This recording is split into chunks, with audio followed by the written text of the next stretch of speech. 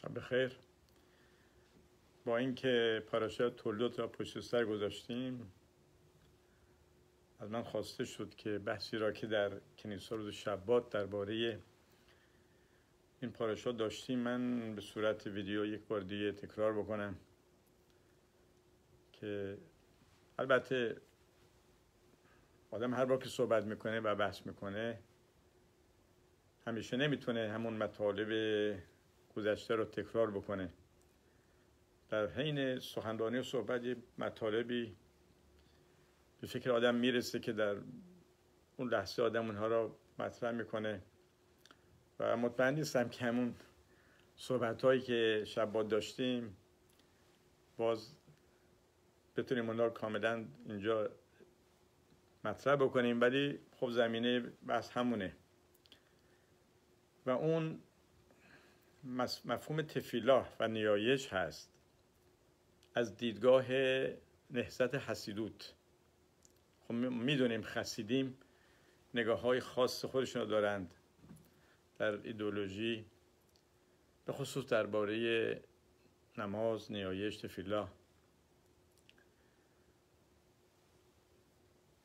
شاید مرکزی ترین پاسوک و آیه بحث ما همون پاسوک و اسحاق لدنای لنوخ خیشتو کی اقاراهی و یعتلو ادونای و تهر اشتو اسحاق به درگاه خداوند در مقابل همسرش یا به خاطر همسرش یا نسبت به همسرش که نازا بود نیایش کرد. خداوند خواسته او را اجابت کرد و ریبکا همسرش حامله شد. جالبه که در این پاسوک نیایش و تفیلا از ریشه اتیرا آتر و آتر استفاده شده. و جالبه که اجابت شدن خواسته هم از همان ریشه تقاضا کردن و خواستن مطرح شده. یعنی خداوند در این قسمت تورا دو فعل مختلف را یکی خواهش کردن و یکی اجابت کردن را هر دو از یک فعل و اون فعل ریشه عین تاورش آورده. و یه تر خیلی معنی ها میده. یکی معنی همون نیایشه اصرار کردن در نیایش و نمت فیلاس. یکی از معنیش زیر و رو کردنه.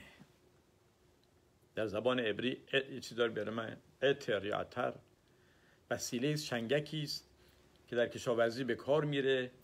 و با اون وسیله زمین را و محصول را زیر رو می‌کنه یا وقتی که زمین را کش بکنند یا محصول را می‌خوان جابجا بکنن این چنگک میره زیر این محصول به اون را زیر رو می‌کنه. این نوع تفیلا این نوع نیایش اسحاق زیر رو کردن سرنوشته و تغییر دادن اون موقعیت زمانه. یعنی ایسا با این نوع تفیلا خوندن با این نیایش کردن همه چیز را زیر رو می‌کنه و همسرش را که نازاوده به اراده خداوند معالجه می‌کنه و علاج میده. باید ببینیم این نوع تفیلا خوندن چگونه هست. و چه درسی میشه ازش گرفت و ما چگونه می‌تونیم از او درس بگیریم و نوع نیایش و تفیلامون را هماهنگ با تفیلای اسحاق قرار بدیم. البته ما اسحاق رو نیستیم اما به ما همیشه گفته شده که باید ما سوق بکنیم و پیش بریم به سوی اون درجاتی که بزرگان ما رفتند. در میدراش اول حخامیم یه مسئله ساده را مطرح می‌کنند و میگند ابراهام و همسرش همسر ابراهام سارا نازا بود. همسر اسحاق ربکا نازاست. راخل هم بعدا نازاست. سوال می‌کنن در میدراش چرا؟ مادران ما در ابتدا نازا بودند. بعضی از حکمای ما میگند از قول ربی که خداوند حقادش بارخو میتعوه فیلاتان خداوند تفیلای صدیقیم را دوست داره. تمایل داره. حتی میگن هوس داره. خب ما نمی‌تونیم درباره خدا چنین صفتی قائل بشیم. الوهیت او را نمی‌شناسیم. خب این خسیده این دارن به زبان خودشون صحبت می‌کنند. رابطه انسان ها با خدا در دیدگاه خسیدیم یک رابطه دوستانه است. الهیت و خدا را میارند و در قالب حد یک دوست حتی با انسان معرفی می‌کنن. اینه که به زبان خودشون دارن صحبت می‌کنن. مسلمه که خداوند هوس نداره. تمایلات او تمایلات ما نیست. اراده او اراده ما نیست. اون چی که اون می‌خواد خواسته های ما نیست. خواسته های الهی یعنی اصلاح جهان و به کمال رسیدن دنیا مسئله دیگری است. اما خب ما داریم از دیدگاه خاصیدا صحبت می‌کنیم. میدراش میگه خداوند میگه وقتی که انسان ها ثروت دارند سلامت دارند من فرزندم که به اونا بدم به این زودی اونها با من رابطه ای نخواهند داشت. جالبه میدراش برای خدا یک تمایلاتی تعیین می‌کنه که خداوند یه چیزهایی را به انسانها ظاهرا نمیده که به, به, به این وسیله انسانها با خدا تماس بگیرند. انسانی که به نیازه مثل انسان امروز در از بعضی جهات در مهد پیشرفت تکنولوژی پزشکی وقتی انسان ها واقعا احساس بینیازی می‌کنند شاید وجود خدا و نیاز بود نیازی نیازمند بودن ما به وجود او را هم نمی‌بینند و در نظر ندارند. اینجا میدراش میگه یکی از علتهای کمبودها اینه که ما به وسیله ابراز تقاضای برآورده شدن خواسته های خودمون با او با خدا در تماس باشیم. یعنی خداوند وقتی قبل از که دنیا رو خلق بکنه تنها بود. و یکی از علتهایی که خلق کرد این بود که از تنهایی در بیاد. البته ما میگیم خدای واحد خدا یکیست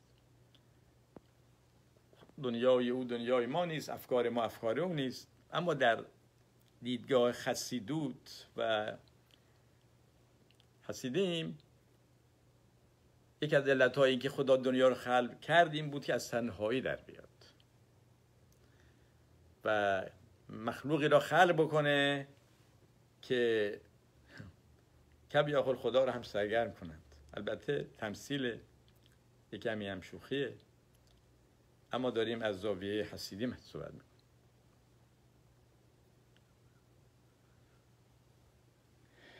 پس اینکه مادران حامله نمی شدند و نازا بودند باعث این میشه که اونها با خدا دیالوگ ایجاد بکنن به حرف بزنند. یعنی بهانه و دلیلی برای ایجاد ارتباط با خدا ایجاد بشه. و این البته متفاوت با نبوت. نبوت انتخاب انسان ها وسیله خداوند برای هدایت انسان هاست البته بعضی مواقع دیدگاه فلسفی هارامبا میگه نبوت همیشه برای هدایت مردم نیست. بعضی موقع انسانهایی به درجه می‌رسند که با خدا بتونن راز و نیاز بکنن حرف می‌زنن. اون درجه نبوت شخصی برای خودشونه که به این کمال می‌رسند. اما خیلی وقتا خداوند از این نبوت استفاده می‌کنه که حالا که تو به من رسیدی حالا که تو می‌تونی با آن حرف بزنی خب من پیامی هم به مردم تو دارم به دنیای تو دارم. از طریق تو که تونستی به من متصل بشی پیام مرا به مردم دنیا برسون. و این استفاده خداوند از انبیا برای هدایت مردم. اما برگردیم به تفیلا برگردیم به نیایش. می‌دونیم که اصل اساسی نماز و تفیلا اونطوری که الان میدراش گفت در حقیقت ارتباط.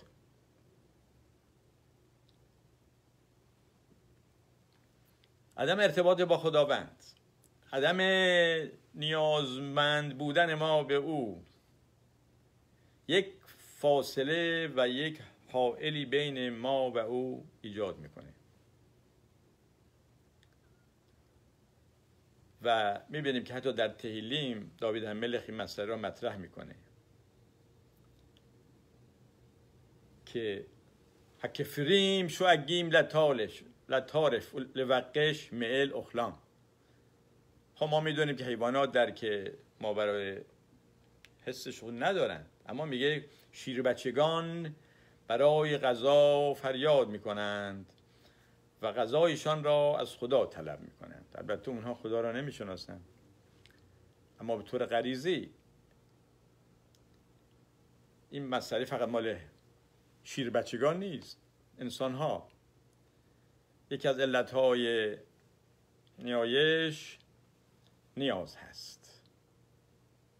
البته بعضی میگن خب نه اینطور نباید باشه. ما ستایش داشته باشیم. خدا را. ولی بشر خب به نماز معمور شده و دستور داده شده. ولی برای اینکه خود بشر به درجه برسه که بتونه با خدا راز و نیاز بکنه و این خواسته خود خداست و خدا به وسیله نبوت این مسئله را تا اندازه شدنی کرده همه که نمی‌تونن نابی باشند همه که نمی‌تونن پیامبر باشند همه که نمی‌تونن اون شرایط رابطه نبوی را داشته باشند. پس تفیلا می‌تونه جایگزین نبوعا باشه. پس برای اینکه بتونیم با او مرتبط بشیم کمبودهایی در ما ایجاد میشه. و به همین خاطر یکی از اندیشمندان مهم خسیدود رب نخمان برسلف در کتابهاش در چند جا اعلام می‌کنه که تفیلا و نیایش خودش اجابت هم هست. یعنی وقتی ما تقاضا می‌کنیم از خدا چیز را می‌خواهیم خواسته ای داریم به خودی خود در خواسته ما جواب خدا هم نهاده شده.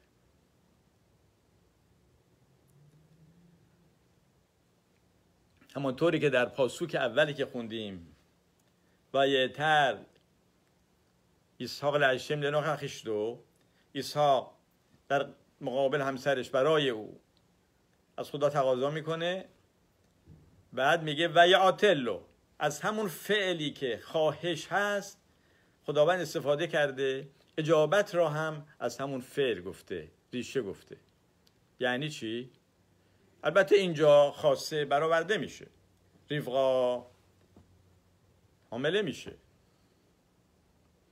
اما می‌بینیم که یک فعل دو معنی بده یکی معنی تفیلا نیایش و یکی معنی اجابت خواسته های ما. یعنی. رب نحمان میگه اگر تونستی با خدا حرف بزنی و تفیلا بخونی جوابت رو هم گرفتی. با همین صحبت با همین خواهش جوابت رو هم گرفتی. البته جواب گرفتن فقط نیست که خدا خواسته مرا بده. می‌بینیم در ادامه بحث که برآوردن برآورده شدن خواسته های ما یک بخش بسیار سطحی و پایین نیایش هست. هدف از نیایش که خسیدی میگن برآورده شدن خواسته ها نیست. اون یه بهانه است که به این وسیله ما به خدا مرتبط بشیم. و در خود تفیلا و نیاش کردن درجات خیلی عمیقتری و مهمتری وجود داره. از زمانی که کم بوده که انسان داره تبدیل به بخشی از دو مکالمه متقابل بین او و خدای او میشه. برآورده شدن اون کم بود در عمل یا برآورده نشدنش اونها هم به بخشی از دیالوگ ما با خدا تبدیل میشه. برآورده شدن خواسته های ما این فقط اصلاح وضعیت نیست. اصلاح کمبود ما نیست. جبران کمبود ما نیست بلکه یک پیام الهی است که خدا میگه نیترت سیتی. از تو راضی شدم نیایشت را پذیرفتم. اما خدا می‌تونه بگه که ولی با تو موافق نیستم. ممکنه نپذیره. ممکنه خواسته مرا نده. و بگه نه هنوز شایسته نیستی. هنوز اصلاح نشده ای. هنوز به اندازه کافی با من صحبت نکرده ای. من بیشتر می‌خوام با تو رابطه داشته باشم. اینجا میگه ربی نخمان میگه بعضی مواقع که خدا خواسته مرا نمیده برای اینکه اگه خواسته مرا بده من او را رها می‌کنم. خدا می‌خواد من به او محتاج باشم نه برای اینکه بگه من خدا می‌تونم به تو بدم برای اینکه خدا میگه من می‌خوام با تو حرف بزنم. اینا بهانه خداست که ما با او صحبت کنیم. حتی اگر به ما نمیگه منظور داره. بیشتر حرف بزن. نه اینکه به من التماس کن. من می‌خواهم با مخلوقاتم در ارتباط باشم. در بعضی عقاید هست که نبوت تمام شده. دیگه ناوی نخواهد آمد. اما یهودیت منتظر ناوی است.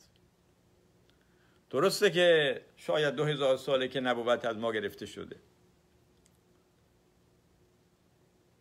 از دیدگاه ما یهودی ها اما تمام خواسته ها و تلاش ما در اینه که دوباره برگردیم به دوران نبوت.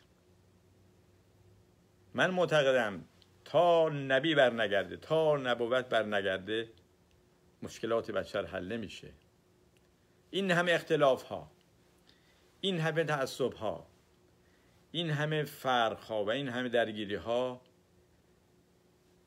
و خودخواهی ها یک نبی دیگری را احتیاج داره که بیاد و همه دنیا رو دوباره در زیر وحدانیت خدا جمع بکنه.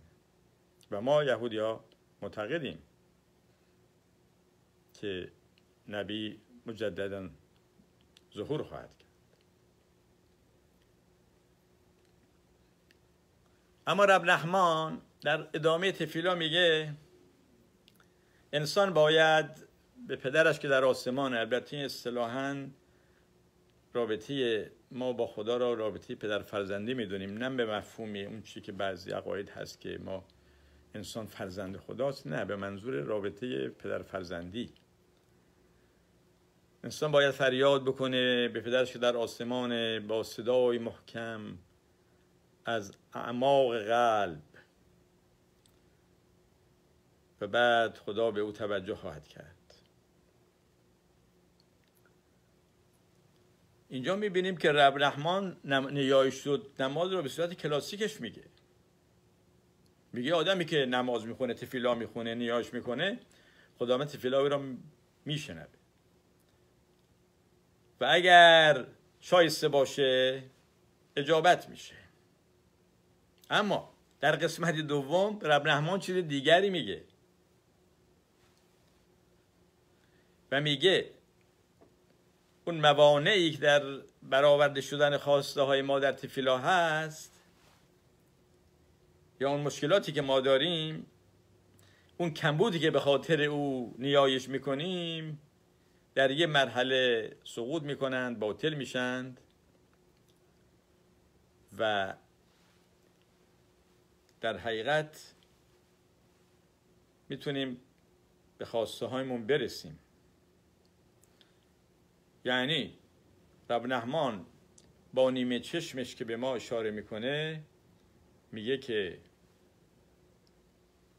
اگر به عمق تفیلا پی ببریم و اون تاثیر واقعی که باید روی ما داشته باشه و روی جلوه الهی نه خود خداوند بلکه اون جلوش که ما خداوند را داریم و جلوه او در دنیا. جلوه خدا در دنیا بهش میگن شخینا شخینا یعنی اون جلوه ای که ما انسان ها به خاطر خداگونه بودن در وجودمون هست و بر ما به عهده ماست که الهیت را در دنیا پیاده کنیم و بشناسونیم و طوری رفتار بکنیم که اینکه خدا ما را آفرید تقدس نام او بشه. وقتی ما در راه بد و خطا میریم در حقیقت خدایی که ما را به شکل خود آفرید یک مقدار نمی‌تونیم بگیم دلخور میشه.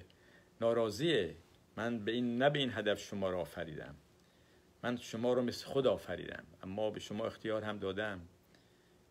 شما جسم هم دارید ماده هم دارید. جایز خطا هم هستید. اما اون جنبه الهیتون خیلی قویه.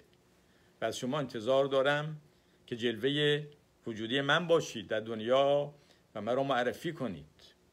من قابل دیدن دیده شدن نیستم.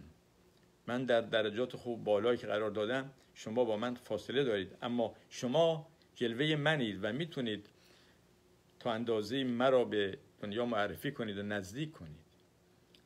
یعنی که به این مراحل برسیم رب نحمان میگه خواسته ها هم برآورده میشه وقتی که رابطه محکم بشه. پس می‌بینیم که میدراش می‌خواد کمبودهای ما را و نمازی که به خاطر اون می‌خوانیم عامل و باعث ایجاد دیالوگ بین ما و خدا در نظر بگیره و در حقیقت کمبود انسان ها و مشکلاتشون را یک عامل به هیجان آوردن و یک کشش ایجاد کردن بین ما و خدا. تلقی بکن. یک درجه میریم به جای دیگه. میریم به راف کوک. راف کوک سعی می‌کنه بود عمیقتری را به این کمبودهای ما در رابطه با تفیلا و نیایش نشون بده. کوک اول یه میدراش میاره. میگه آمد ربی حما بر حنینا این روی آدم شید پلل ولو نعنا یخسر بیت پلل. اگر انسان ببیند که نیایش کرده است و جواب نگرفته است برگردد و دوباره نیایش کند. چه نمر آیه داریم؟ قوه لدنا حذاب یعنی مثل بخوا به قوه ال امیدوار باش خدا. قوی باش و مصر به خود جرأت و جسارت بده. و اگر جواب نگرفتی به قوه دوباره امیدوار باش. معنیش چیه؟ آیا معنیش اینه که یک بار که گفتیم خدا نمیشنوه و بار دوم اصرار می‌کنیم دلش به رحم میاد؟ نباید اینطور باشه. اصلا چه لزومی داره که من بگم مشکل من چیه؟ آیا خود او مشکل من رو نمی‌دونه؟ آیا او محدودیت های من رو نمی‌دونه؟ باید منتظر بشه من از او بخوام و بعد بده. خودش انقدر نمیده تا من نماز بخونم و اصرار کنم و التماس کنم. آیا خدا عجز مرا می‌خواد؟ آیا خدا افت مرا می‌خواد؟ گریه مرا می‌خواد؟ نه. رفکوک میگه در مقابل هدف تفیلا و نیایش و به دست آوردن اون نیاز و کمبودی که وسیله او ایجاد میشه نیایش تفیلا کار مهمتری انجام میده و اون اینه که نیروهای درونی مرا نفسانی مرا نیروی روحانی مرا خود تفیلا صرف این که چه بخواهم یا نخواهم اطلاع میده. رافکوک میگه نیایش اون کمال درونی روحانی مرا از قوه به فعل در میاره و نمایان می‌کنه. از طریق این تصویرهای کثیر اندیشهی و وسیع که به اجزای بسیار زیادی تقسیم میشند و این اندیشه ها بی نهایتند مصور کننده عوالم خداوند همه چیز در درگاه او آشکار است. و او می‌داند اون تصویر و اون اندیشه روحانی مخصوصی که شایسته است و برای هر کدام از نفوس ما کم دارد یا کم بود دارد چگونه باید تکمیل بشه؟ یعنی تفلای من و نیازش من کمبود مرا وقتی ابراز می‌کنه بیان کننده یک کمبودهای بالاتر و بزرگتر و عمیقتر و معنویتر و بسیار بسیار مهمتر هم هست. بسیاری از اوقات تفیلا و نیایش ما قبول شدنش به عقب میفته برای اینکه هنوز اون تصویر و اون زیبایی و جلوگری درونی من به بروز نرسیده و خود را نشان نداده. اون چی که در عمق نشامای من و روح من هست هنوز خود را بروز نداده. پس اینکه دوباره تفیلا بخون و دوباره نماز بخون دوباره نیایش کن باعث این میشه که اون جلوه درونی من آشکار بشه متبلور بشه که اون خیلی خیلی مهمتر است. اون نیازهای شاید فیزیکی و جسمانی یا ممکنم روحانی من باشه. راف کوک در گفتارش توسعه میده و تأثیر نیایش و تفیلا را بالاتر از اون چیزی که ما می‌دیدیم قرار میده. راف کوک تعیین می‌کنه هدف تفیلا و نیایش بزرگ کردن و عظمت دادن به نیروهای درون روحانی ماست و کمک می‌کنه که بخش روحانی ما به کمال بالاتری اوج بگیره و بالا بره. مرحله اول تأثیر عملی تفیلا و نیایش اصلاح درونه. که باید در او تعمق کرد. به درون نگریست. و درک عمیق و درونی از اون چی در روح ما و روحانیت ما وجود داره این اثر مهم نیایشه. در مرحله دوم راف کوک میگه وقتی انسان این قوای درونش را با نیایش کردن پیدا می‌کنه بالا میاره اون وقت اون امیدی که در او پنهانه آشکار میشه. اون وقت خوشبینی و ایمان به اینی که هر مشکلی حداقل مشکلات معنوی قابل اصلاحه بیشتر مطرح میشه. تفیلا و نیایش تیکون اصلاح درونه. این خیلی بالاتر از نیازهای جسمی ماست. روند درونی اصلاح وجود ما با یک نیاز جسمی مادی پیش پا افتاده شاید هم مهم شروع میشه. ولی از اون عبور می‌کنه. و انسان را به خودش نزدیک می‌کنه و اون تیکون و اصلاح که باید بشه. تا زمانی که این خاصه ظاهرا مادی ما برآورده نشه رافکو اعلام می‌کنه هنوز اصلاح درون نکردیم نشدیم. و همین خاطر دوباره باید برگردیم و تفیلا بخونیم. دوباره باید نیایش بکنیم. نه فقط برای پر کردن اون خلع که هنوز پر نشده بلکه برای تکمیل کردن روند اصلاح. برای اینکه اون کمبود ظاهری که ما داریم و براش از خدا کمک می‌خوایم تفیلا می‌خونیم فقط یک سیمتومه. فقط یک علامته فقط یک نشانه یک چراغ هشداره و علامته که ای انسان این کمبود ظاهری تو نتیجه کمبودی عمیقه که تو باید حالا با همین تفیلا خواهی توانست. یعنی اینجا می‌بینیم که بزرگان خسیدود نمیگن که خب تفلا کافی نیست نمیگن باید بری در عمل کارهای انجام بدی. میگن خود این تفیلا خود این نماز خود این نیایش می‌تونه اصلاح درون بکنه و یه مقدار آدم مشابهت می‌بینه لحفدیل بین اون که مثلا در آسیای جنوب شرقی یا مشرق زمین که در یک نوع کارهای ورزش های خاصی دارن که تمرکز ها و اینها که خودشون ادعا می‌کنن یا میگن که این ما را تغییر میده. البته قبلا دربارش بحث کردیم و هم انتقاد داشتیم هم همچی که دربارش صحبت کردیم.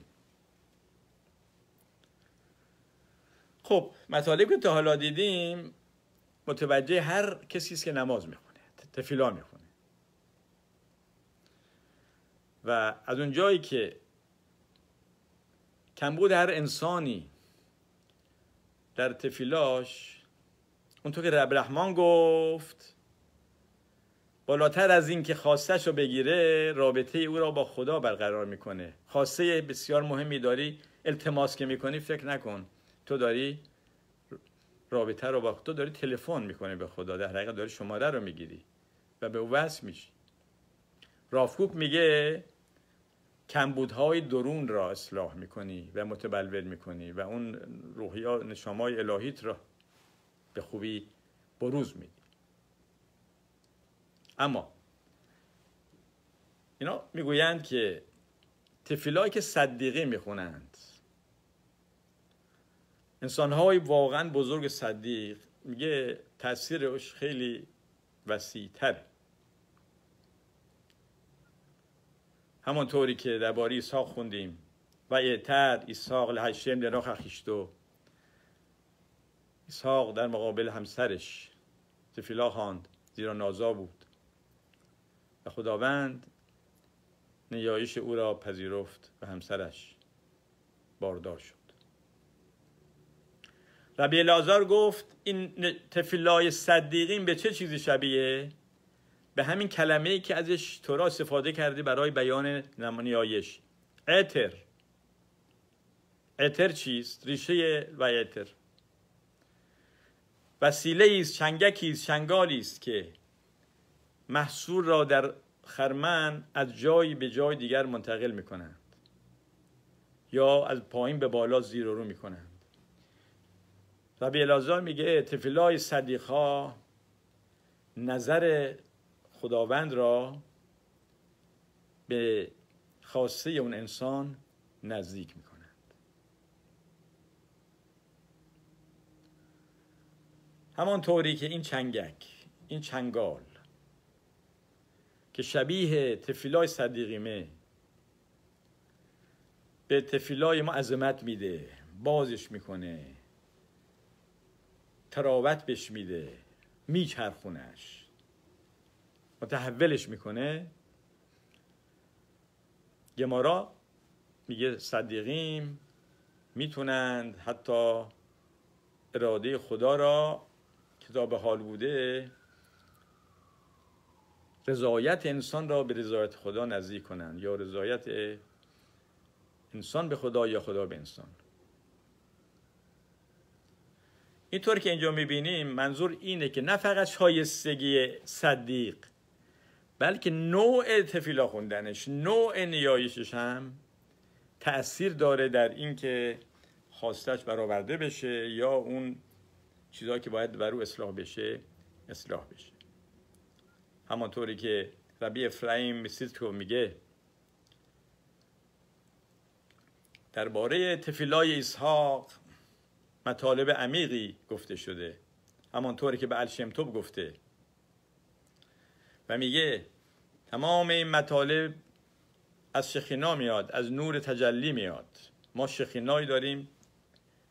گفتیم جلوه الهی در زمینه که انسانها و نشامه های ما به هم پیوسته میشه و اون جلوه را تشکیل میده که باید باستابی از الهیت باشه.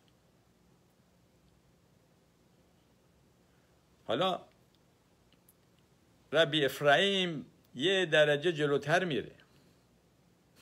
ایشون میگه تمام کمبودهایی که انسان داره باید بدونه که این کمبود شخیناست یعنی جلوه الهی که انسان باید این جلوه رو متولبر بکنه کمبود داره و انسان هنوز اون خواسته خدا رو برآورده نکرده.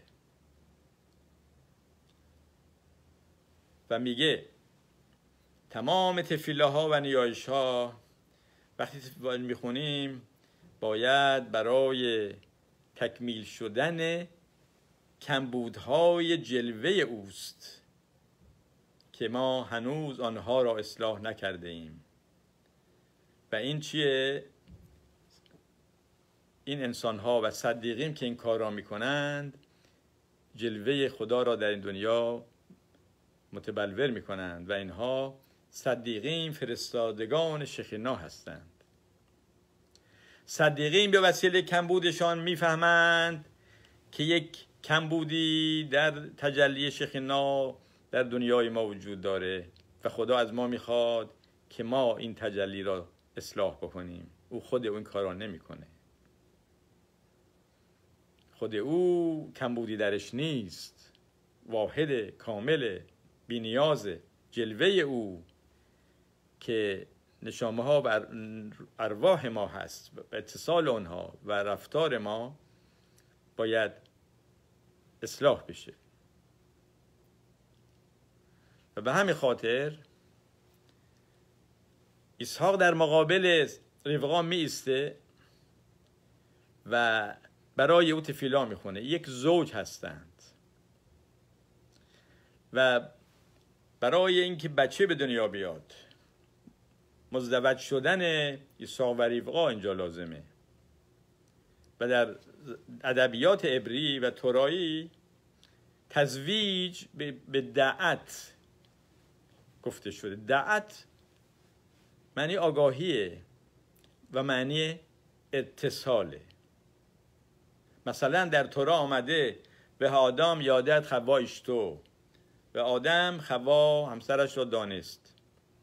این رابطه زناشویی را تورا از یادع گفته دانست. دانستن و دانش. دعت. معنی دیگرش خیبور اتصاله. اینه که تورا میگه. و یعتر و یتر ساق الاشم دنو خیشتو. یعنی چرا میگه؟ چرا لزومی داره که وقتی ایسا داره تفیلا می‌خونه تورا بگه که در مقابل زنش ایستاده و تفیلا می‌خونه. ارتباط روحانی با او برقرار می‌کنه. مسئله فقط ارتباط فیزیکی نیست. وقتی می‌خواد تفیلاش قبول بشه همسرش اون طرف ایستاده و این طرف اون اون گوشه اتاق این این گوشه در مقابل همند و برای هم ارتباط با هم تفیلا می‌خونند. بعضی از احادیث میگه اسحاق هم نازا بود و ریفقا برای او تفیلا می‌خوان نماز می‌خوان نیایش می‌کرد. اسحاق هم برای ریفقا اما میگه خدا تفیلای اسحاق رو قبول کرد. حالا این چرا؟ این بحث دیگری است. تفیلای نیایش صدیق فرزند صدیق با صدیق فرزند غیر صدیق متفاوته. یعنی اینکه اساقاوینو وقتی در مقابل همسرش میسته و در ارتباط روحانی و قرار می‌گیره از این همسرش باور نمیشه این کمبود را نه کمبود خودش کمبود شخینا می‌دونه. تکمیل نبودن جلوه الهی در این دنیا که به عهده ماست که او را تکمیل بکنیم می‌بینه. و صدیق مسئولیتش از دیگران بیشتره. و تأثیر تفیلا و نیایش اسحاق اینه که وقتی این نیایش را می‌کنه تأثیر می‌گذاره در جلوگر شدن شخینا و به تزویج و به دنیا آمدن فرزند هم منجر میشه. و تحریف تو. اون که در دنیاهای بالا انجام میشه. ارتباط روحانی که اسحاق با همسرش می‌گیره و هر دو با هم به دنیاهای بالا متصل میشن تأثیرش در دنیای پایین و جسم و فیزیک هم معلوم میشه و ریفقا صاحب فرزندان میشه. پس اینجا خلاصه می‌کنیم. ربی افرایم می‌خواد کمبودهایی که انسان داره بیان کننده کمبودی در کمال تجلی الهی در دنیا باشه که اصلاحش به عهده ماست. و میگه بیماری نازایی نبودن کمبود مشکلات مالی جنگ ها اینا همه بیانگر یک لباس های هستند و کمبودی از جلوه تأثیر الهیت در دنیا که خدا از ما خواسته که اون را در این دنیا تکمیل کنیم خدا دنیا را خلق کرد و بعد به دست انسان سپرد. مسئولیت انسان در دنیا بسیار زیاده. اون رویایی که ما میگیم برای آخر زمان که درش جنگ نیست فقط صلح هست. بیماری نیست. همه بیماری علاج پیدا می‌کنه. کمبود مادی نیست. فقر نیست. این یک رویای اجتماعی فقط نیست. ربی افرایم میگه یک رویای روحانی است. یک رو... که برای کمال رسیدن روحانیت معنوی در دنیاست که وقتی اون پیاده بشه اول روحانیت باید درست بشه بعد فقر از بین میره. اول شناخت الهیه اول نبوت باید برگرده. اول جلوه الهی در این دنیا باید به وسیله ما انسان ها اصلاح بشه بعد مشکلات دنیا حل میشه. با جنگ با این مذاکرات و صلح و سازمان و ملل و این مسائل یک چیزای ظاهری درست میشه اما بعدش دوباره مسئله دیگری پیش میاد مشکل دیگری پیش میاد. ربی افرایم میگه تا اون مسائل معنوی اصلاح نشه مسائل مالی مشکلات نیازهای فیزیکی و جسمی و احساسی به این صورت برطرف نمیشه. البته بحث بسیار زیاده. با اینکه ما در روز شبات مفصلتر صحبت کردیم فکر بکنم خوبه که این موضوع را خاتمه بدیم و ببینیم که در حقیقت همانطور که ربی افرایم گفت وقتی که اسحاق فهمید که نازای زنش بیانگر کمبودهایی در دنیاست نیایش را و تفیلاش را به عمل تبدیل کرد که باعث تازه شدن اتصال بین خدا و انسان ها شد. اتصال بین شخینا و کنست اسرائیل و اصطلاح عوالم بالاتر. اینجا بیشتر وارد کبالا شدن. من دیگه واردش نمیشم. و ببینیم که در حقیقت ایده هایی وجود داره که خدا دنیا رو این ایده قرار داده و ما باید عمل را به این ایده ها نزدیک بکنیم. اون ایده ابسولوتی که وجود داره و مسلمه اما متاسفانه فقط ایده ایده مونده. باید به عمل در بیاد. حخامیم حسید میگن حسیدی میگن می‌تونیم ما با رفتاری که انجام تفیلایی که درست می‌خونیم می‌تونیم این ایده ها را به فعل در بیاریم اندیشه را در عمل در بیاریم. و باید اون برنامه الهی پیاده بشه. باید بدونیم که نیازهای فیزیکی بیانگر یک نیازهای خیلی خیلی بالاتر و معنوی تره اگر کسی هوس به غذایی داره به غذا خوردن داره این هوس هوس به شناخت درون خودش داره. این فقط علتش این نیست که میگن مادی شکمباره است. نه. حتی کسانی که بعضی موقع افکار کفرآمیز میاد سراغشون اینا دنبال حقیقتند. بعد اینا هدایت کرد. حتی بعضی به اعتقاد ندارند. بعضی ها میگن ما هیچ اعتقاد نداریم. نه اونها خداوند را نه اونطوری که ما میگیم دوست دارن بشناسند. اونها جور دیگه می‌خوان. حتی کسانی که ظاهرند کافرند اگه باشون صحبت بکنید یه جایی بهشون می‌رسید که اینا فقط طوری که ما خدا رو معرفی می‌کنیم به نظرشون رضایت بخش نیست. می‌خوان خدا را شاید با درجات زیباتر، عمیقتر و معنویتر بشناسند. بعد اینها رو هدایت کرد با اینها رو اصلاح کرد. و این تا اینجا فکر کنم کافی باشه. البته بحث خیلی مفصل تره حالا من نمی‌دونم روز شبات حتما چیزا دیگه مطرح شده. دوستان اگر گوش بکنن شاید بگن که این فرق داشت. موقع چیزا دیگری گفتید. خود من دیگه یادم نیست. یه وقتایی موضوعی به فکر آدم می‌رسه. خود خب اینجا من الان موقعیتی که صحبت می‌کنم با اون روز فرق می‌کنه. انشالله در موقعیت های دیگه اگر مسائل دیگر هست به مرور انشالله در بار ها هم صحبت خواهیم کرد. شب بخیر و به امید برنامه های بعدی. شالوم و رخا